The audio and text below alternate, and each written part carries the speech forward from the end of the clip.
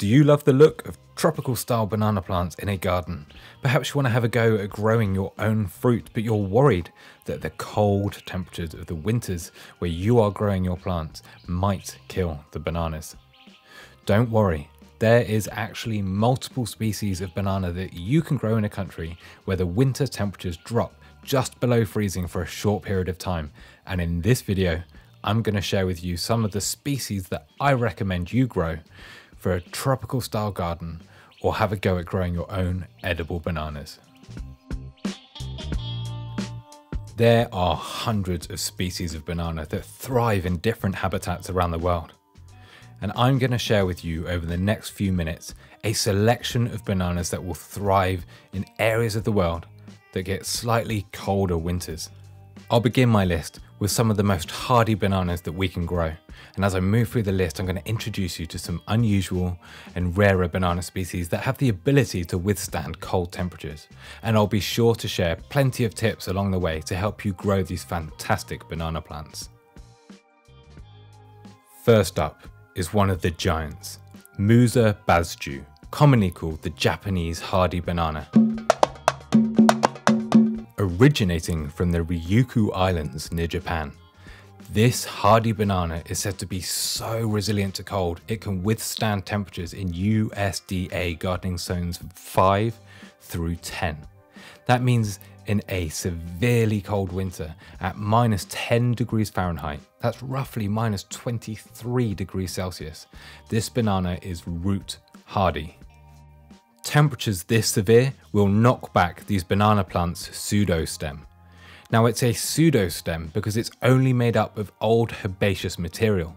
Although sometimes referred to as banana trees, bananas are just actually giant herbs. In fact, they are some of the world's largest growing herbs.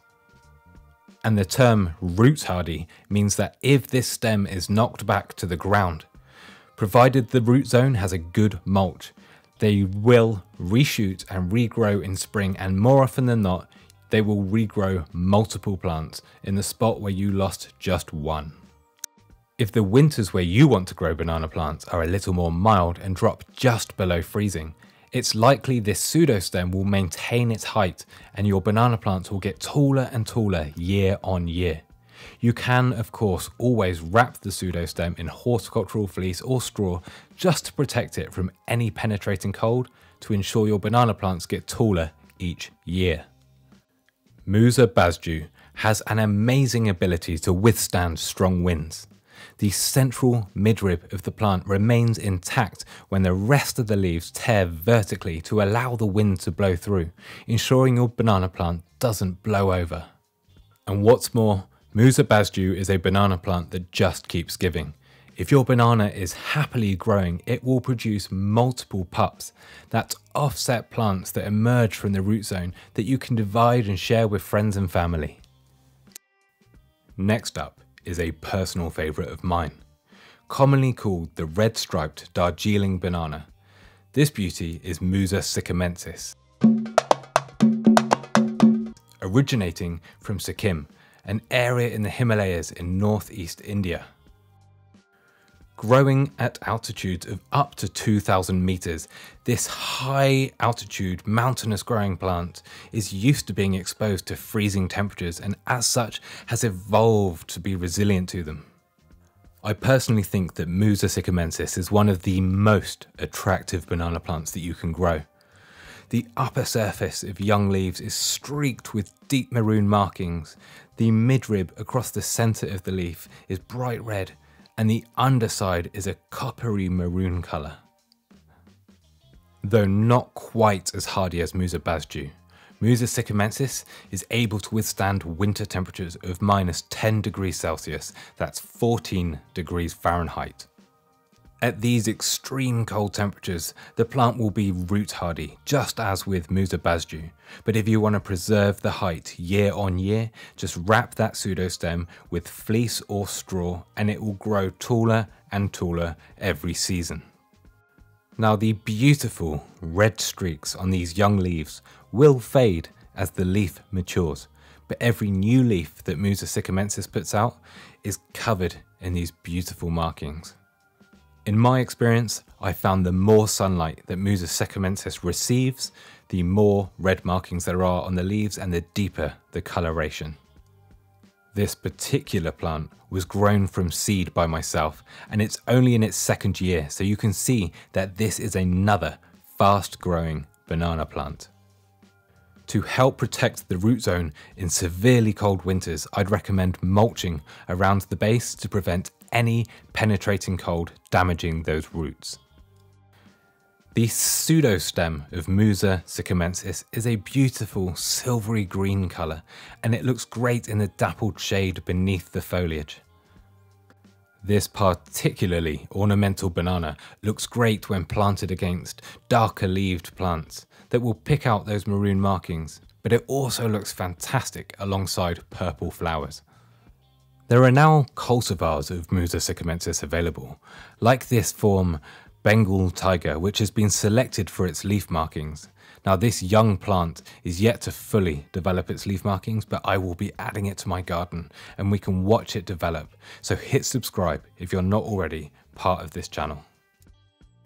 The next cold hardy banana in our lineup is a banana by the name of Musa cheesemanii, commonly called Cheeseman's banana. Mm. This is another wild banana species from northeastern India that has a hardiness level similar to that of Musa sikkimensis. Though lesser known, I think this banana is equally as ornamental. The tightly packed pseudostems are a reddish brown colour and shine against lush green foliage. The upper levels of Musa cheesemanii's stem blush with a silvery white waxy bloom that carries on up the leaf stalks and into the leaf. The foliage of Musa cheesemanii is much narrower than the first two bananas we've mentioned in this video, but it's equally beautiful. The leaf midrib has a conspicuous purple-brown colour. One of my favourite features of Musa cheesemanii is the fact that the underside of the leaf has a soft silvery sheen that looks fantastic as it sways in the breeze and reveals itself. This is another banana plant that I had to grow from seed because they are much less commonly available but well worth growing if you can find some seed or if you're lucky enough to find some plants. And last but by no means least, is Musa velutina, another species from northeast India growing in the high altitudes of the Himalayas. Though Musa velutina doesn't grow as tall as some of the other bananas featured in this video, it is fast growing and will offset and produce pups very quickly. Now the key feature of Musa velutina is its stunning inflorescence. That's flower spike. As this banana flowers, the bracts of the flower spike are bright pink and contrast beautifully against the golden green fruits that are sweet and edible, although they will be full of tiny black seeds. Musa velutina is a new addition to my garden this year, so I will be planting it out and we can test for its hardiness and enjoy watching that magenta pink flower emerge in the years to come hit subscribe if you want to follow me on that journey. Growing these banana plants in the Grow Paradise garden has given me so much joy over the years. And I've learned that bananas are hungry and thirsty plants, so long as you can give them plenty of fertilizer and water in periods of drought, you are sure to have lush, happy and healthy banana plants growing in your garden wherever you are in the world. Every single banana featured in this video is root hardy in cold winters, so long as you mulch over the root zone and protect it from penetrating cold and frost. If you want to maintain your height year on year, just protect that pseudostem with a wrap of horticultural fleece or straw. And that's it. No matter where you are in the world, you can have a go at growing your own banana plants. Now, if you enjoyed this video, please hit subscribe. It's the easiest way to support the channel. And we've got a gardeners forum where you can go and create a free account and ask questions about anything you're growing in your garden, share pictures and chat with other people in the Grow Paradise community. Thank you so much for watching and I will see you all in the next video.